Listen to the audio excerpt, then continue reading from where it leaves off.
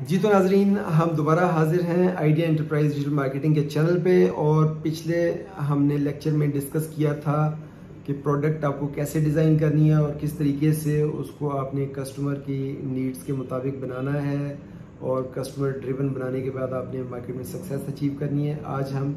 एक और टेक्निक बताएँगे कि आपने फोकस किस तरीके से करना है, फोकसिंग। आम वर्ड से ही ज़ाहिर है कि आपने तवज्जो करनी है, मरकूज़, जो भी आपका मेन बिज़नेस है और जो अननेसेसरी टास्क जिनमें आपका टाइम ज़ाया हो रहा है, वो वाले टास्क आपने ख़त्म कर देने हैं, वो वाले प्रोसेस आपने डिलीट कर देने हैं ओमिट कर देने हैं अपने प्रोसेस में से। इसी तरीके से अगर आप बहुत सारे प्रोजेक्ट्स आपने पकड़े हुए हैं, जिन पे आप फोकस नहीं कर पा रहे तो जो एडिशनल प्रोजेक्ट्स हैं, जो, या जो अननेसेसरी जिनमें से आपको ज़्यादा रेवेन्यू या ज़्यादा सेल जनरेशन नज़र नहीं आ रही तो आप उनको कट डाउन कर देंगे ताकि आप जो जिन प्रोजेक्ट्स के ऊपर आप काम जो इम्पोर्टेंट वाले हैं उनके ऊपर करें तो वो आपकी प्रोडक्टिविटी और स्पीड जो है वो बहुत ज़्यादा बढ़ जाएगी, क्योंकि आपकी जो प्रोग्रेस है है टाइम के और स्पीड के। और ये दोनों चीज़ें मतलब फोकसिंग के थ्रू आप टाइम अपना कंट्रोल करेंगे।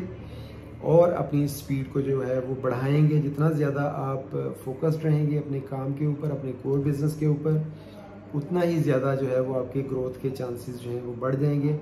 और आपको मार्केट के अंदर एक कम्पिटिटिव एज मिल जाएगा। यानी आप अपने कंपटीटर से बेहतर सेल जनरेट कर सकेंगे उनसे ज़्यादा रेवेन्यू कमा सकेंगे और बहुत जल्दी आप जो है वो तरक्की कर सकेंगे मार्केट के अंदर। तो इसके लिए आपको एक थ्री स्टेप अडॉप्ट करना पड़ेगा। उस वो क्या है? कि आपको सबसे पहले तो अपने क्लियर कट टारगेट्स या गोल सेट करने पड़ेंगे और दूसरे नंबर पे आपको, उनको टाइम बाउंड बनाना पड़ेगा कि हम जो भी टारगेट सेट करें, वो टाइम बाउंड हो के हम इस महीने में हमने ये अचीव करना है, अगले महीने में हमने इतनी सेल्स जनरेट करनी है, अगले